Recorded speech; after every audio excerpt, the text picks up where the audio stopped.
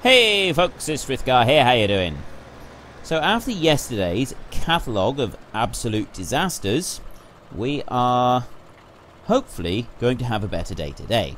And I will just say, I got partway through the recording and I had another game crash, so I am now having started again, which is exactly the same as what happened yesterday. And the reason I'm not exactly sure why I'm getting these crashes is obviously there's a mod conflict somewhere, but again it was over in the field with the cultivating cultivations, um, where I was doing you know I was doing the cultivating yesterday. So I'm going to try it once more, and I will say frequently while I'm doing that bit of cultivating over there, and we will see what it might be. Um, but before I start doing cultivating, I'm going to... Uh, I, I am wondering if it's perhaps this tanker. We didn't have problem with it before. Um, yeah, just generally, I'm not, I'm not quite sure. So, anyway, we've got this great big water tanker now. This one can also take milk. 18,500 litres is considerably better than what we were using before. Now, a... Um, come up around here. So, yes, we were doing 4,500. So this one can take water and milk, but it can't take the honey. So we'll need to use a small tanker for the honey, and then this great big tanker we can use for the water. And I'm going to bring it up here, and we're going to fill this one up. And then we are going to go back over, and we are going to uh, have another go with the cultivating over there. What I've done is... Oh, before I do that, my weekly question. I better get into that, because otherwise I'm going to forget all about it. Slurry tankers. I have got the Marshall at the moment, uh, which is an 8,000 litre tanker. I'm thinking that we should upgrade slightly. So do you want me to get the Zunhammer? 18,500. Obviously, that's going to be quite difficult to pull up the hills. Going down the hills shouldn't be a problem, I shouldn't have thought. I think we'll have no problem at all building up speed going down hills with that thing behind us. Um, the other option is a modded one, which is the Fliegl VFW 10600. And that one requires 130 horsepower and is kind of more of a, a, a mid-range one, I would say. So it is the Fliegl or it is the Zunhammer. It is, uh, head down to the comment section down below and let me know which one you'd like. It's your vote, it's your game. Now, we'll just take this one up here to this set of beehives up here. The, um, to the beekeeper. The beekeeper, that's the word I'm looking for. And we'll park this one in here. We'll unload the water into it so that it can make a little bit more honey for us. And then we're going to have to see about taking the honey to the um, the shop over there. And I think we can actually get down that way. We're also going to need to do some grass soon. We are running out of grass. Uh, so we're going to need to do that. We've got quite a few different things to do. And we are down to 14 episodes to go, including this one. So, just back up there a second. There we go. Right, that one can empty out. As soon as that is emptied out, I'm going to walk down to the farm and we are going to see about purchasing the field down the bottom so we can cultivate the whole of the other field. Okay. Going to buy this field here, because I sold some of the silage and biogas plant, as well as topping up our mixed feeder. We now have enough money that we can buy this field. There we go. And that should allow us to cultivate that field up there. Although we do have this issue with the game crash coming up, and if I can establish exactly what is causing it, I will let you know, of course, so that you don't have the same thing happen to yourselves, because there is nothing more frustrating than a game crashing on you. Um, what I'm going to do is I'm just going to go around the outside a few times with this one, because I know it works. We've got a little bit up there that doesn't work. Um, and that's about all there is to it, really. We're just, I'll just get a little bit of this done so that we can start auto cultivating with, with the hired help and then I will get back to you and we can start ferrying some pallets around. I got we got pallets to move, we got honey to move, we got all sorts to move. I've done a few times around the outside of the field and I have just set the hired help going. I haven't had another crash, so I'm really not sure what it's doing. I'll have to study. Uh, I think there's um, crash logs or something later on, but I'll I will have a look and see if I can find out what is causing it because this is not really what we want. Anyway, it hasn't done it at the moment, and the hired help is away. They're going to cultivate this field. He'll probably stop when he gets part way down because um, he's not all that clever when it comes to figuring things out. But anyway, that's that's neither here nor there. He is working. It's doing as we want it to. Um, now, I've taken some water to the beehives up the top. I've got some honey available. I want to take some grain up to one of the buildings up the top there. I'm going to need to cut grass very soon. We are going to need a lot of grass quite soon. So I'm thinking that my next job, we will go and get the... I'm going to walk. I'm going to walk up the top a minute. Okay, I'm going to take some water over to one of the big buildings over on the side, and there's a fill point right here, which we used at the end of last week. There we go. So if I just back up to that drop a minute, we can fill this tanker up, and then we can go straight out, and we'll see about the shortcut across the top here and see how that works. Uh, is that going to... No, that's not anywhere near close enough. Problem with this trailer is that because the wheels turn slightly, um, it's more difficult to reverse. It's always a bit of an issue when you've got wheels that turn slightly. So fill this one up. We're going to go out through there, through that gateway just there, and we're going to head down over the Met building, which is the darker of the two. That one takes water. The other one takes grain, milk, and honey.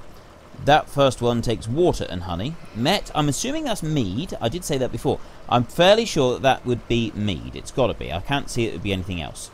Um, the feeding trough for sheep, that now has no grass in it whatsoever.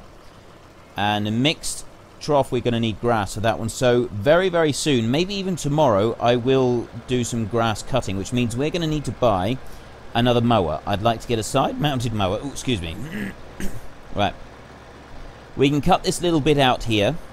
We've got a field down there that we can cut, and there's another piece above field 3 that we can cut. I notice there's a, a gateway going through into it.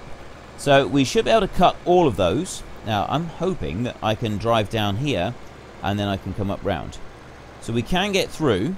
So we actually we could probably get away with cutting a section in front of this. I don't see why we couldn't.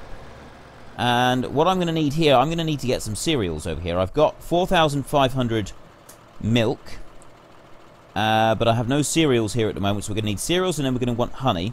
And that way we'll be able to start that pallet filling up and that one fills up with cereal. I'm going to get into the tractor. Here we go. Right, now this one takes water and honey. So where does the water unload? That's the next question. Is it this side or is it the other side? Ah, here. It's got to be there. So if I come over to this side, unless that's where... Does it fill here? Ah, there we go. Right. So the water goes into that pipe there, and if we were using the small trailer, it would fill on the small trailer. It would You'd get the pipe come out. So we'll fill this one up. The next task we're going to do is... I think we've got enough water here and there. We will get the other trailer put on and we'll get some honey. We'll bring the honey down here. This one will start. We will need to get some cereal up for the other one. So that's what... Uh, right, only takes 12,000. We'll unload this one. So let me just head back over there. I'll come around between the two. And I will swap over the tankers and get the other one going. Right, we're going to drop this one here. Just like that and we will get the small Bowser on, which can take the honey. We will get honey straight from there, because we've got a whole load of honey in that one. And we can run it downhill. We want to do two trips, because we want to fill the Met one, and we want to fill the cereals one as well. Uh, we've got more info. Water empty. Which one's that? Uh, that's probably not this one. That one's got a load of water in it at the moment. I imagine that's the one down at the farm, so we're going to need to take a tanker full of water down there very soon. It's amazing how fast you get through things. Running these uh, beehives is an absolute full-time job. It really is. It's a good job we got plenty of milk. At the moment, we've got, if you just take a look here, we've got 21,000 litres of milk. So we've got plenty of milk. We may even have to sell some milk soon. So that one will fill up there. If we just Can I back up a bit, I want to see it. There we go. So we've got the pipe coming out there. That's working quite nicely. That goes onto the side. It, it actually takes it off the side of the tanker there as well when it does it. This tractor is getting absolutely filthy. I think we're going to have to splash out on a pressure washer fairly soon because I would like to clean the tractor. Because when you're inside, look at that. That's absolutely disgusting. And I do like to do some in-cab driving, but I don't really like doing it when I can't see anything out the window. So that's something we're going to have to work on. Now, if I put it into the Met first, because we never actually, we've never actually tried this one. We've tried the other one um, in the last map. We actually made a pallet of cereals, and it, it, it all worked fine. So let me start filling that one. The pipe's gone off. It's gone onto the back. That is filling up there. Let me come over to here, and if you jump up... Oh, no, it's... Ah, there we go. This end of it. So we've got 12,000 water, which is full. We've got 40, uh, 4,500 honey, which is a third. So we could get two more tankerfuls of honey in here. And then you've got the Met pallet. Now, where's the pallet go? Got that there. Uh, oh, it's out this side.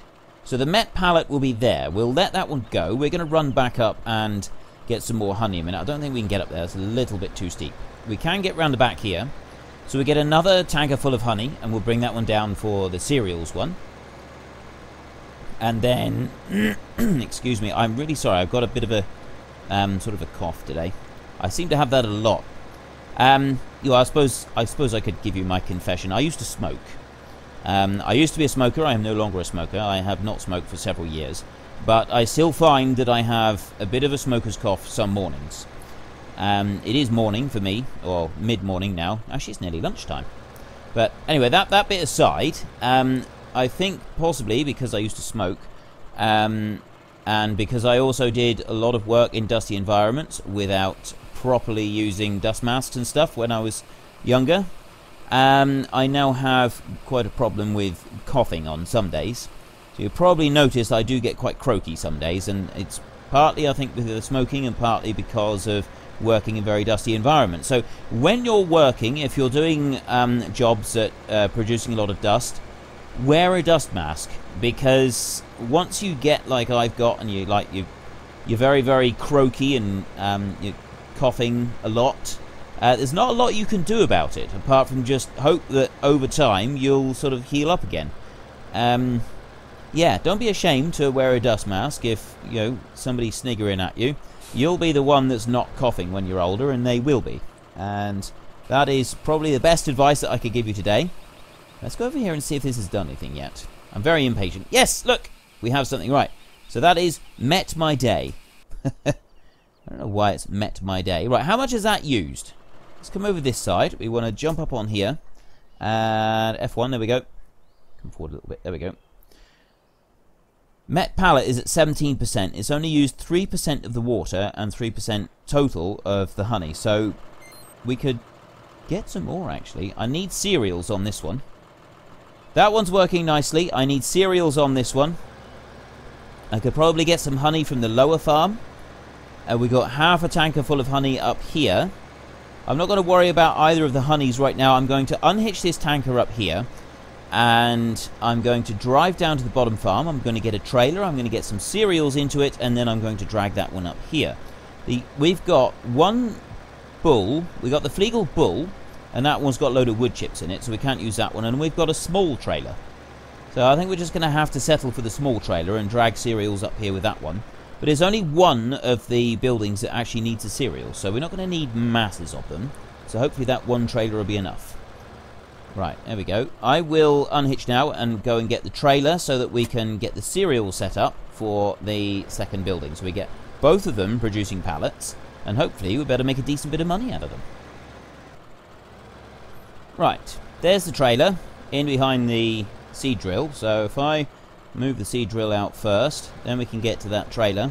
I think that one's 4,500 litres, if I remember correctly. It might be more than that. Hopefully it is a bit more than that. Right, I don't need to actually put the PTO on this one because we're not going to be using it. We're just moving it. So if I turn round and reverse that one in there. Oops. Need to do that. Put that one there like that. Lower it down. You know what I'm going to do? Right now, I'm going to buy a pressure washer because I want to clean this tractor. So, pressure washer. There we go. And where should I put it? I need to find somewhere to put it that is not going to be in the way, but we can access it. And it's a very, very tight place here. We haven't got a lot of space anywhere.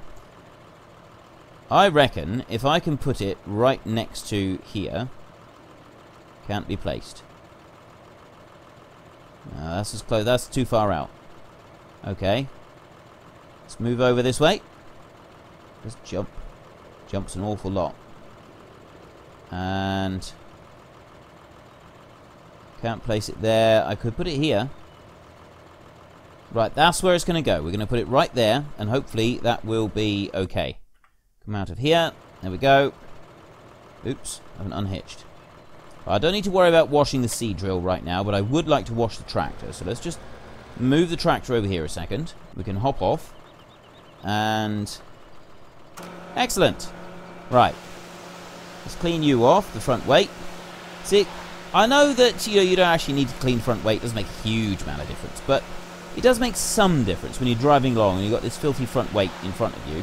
Um, if you're a bit of a perfectionist, I tend to be a bit of a perfectionist at times. Um, that front weight can really make a difference. It, it gets annoying. It, it, just I see that just that dirty weight on the front and a shiny, clean tractor, and it just it just bugs me a little bit. It's, it's only like a small thing. It's, it's one of those like niggly little things that most of the time you you don't worry about too much. But yeah, I don't know if anybody else has those things. You know, they're, they're slightly annoying. Not annoying enough that you would go out of your way too much to deal with it, but at the same time, they are just like this niggling little. It's almost like a something just brushing at your hair slightly. It's, it's just slightly annoying, and you just every now and then you flick your hand towards your hair to try and stop the annoyingness, but you you don't go out of your way to try and stop it altogether. Am I making myself do?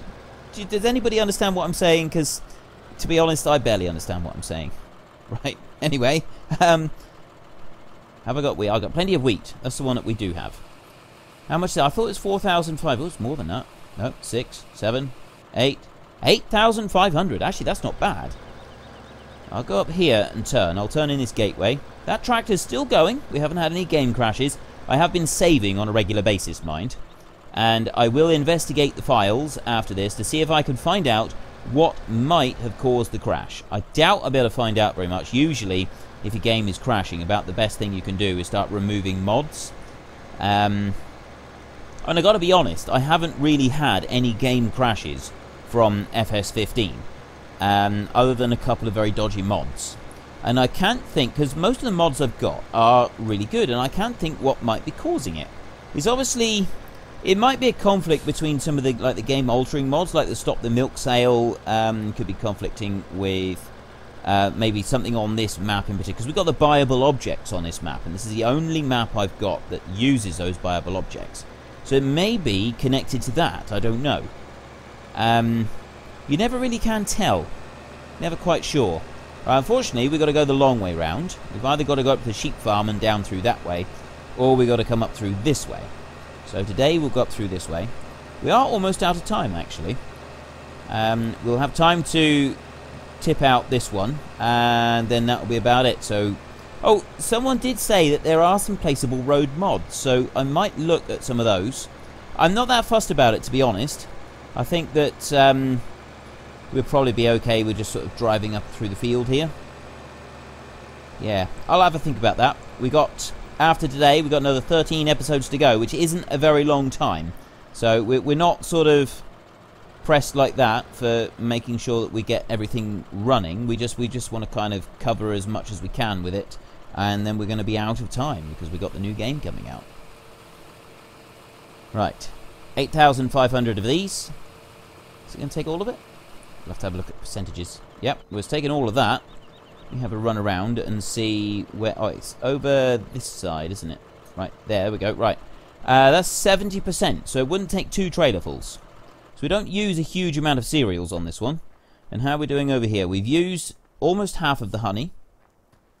And it looks like we got almost a full pallet. We just come back round this side. Jump up on here. There we go. 85% uh, on the Met pallet. So that one is nearly ready to transport down to the bottom. We're actually out of time. Um, weekly question, very quickly.